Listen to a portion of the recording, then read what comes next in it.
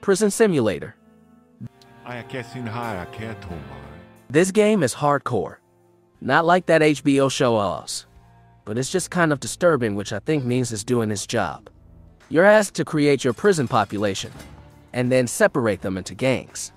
Thankfully, each of these tasks can be done automatically.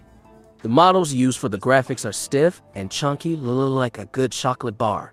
Some of the textures are really nice though. Everyone speaks in a fake gibberish that absolves the developer from having to hire any voice actors. Pretty smart, but it sounds like you're working with a bunch of Pixar minions. As a simulator, things can get pretty tedious. But I do have to admit that it's all done well as far as gaming and concerned. It may just be me, but I haven't figured out how to run yet so that adds to the slog.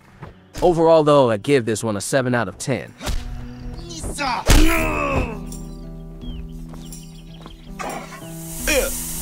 Uh, uh.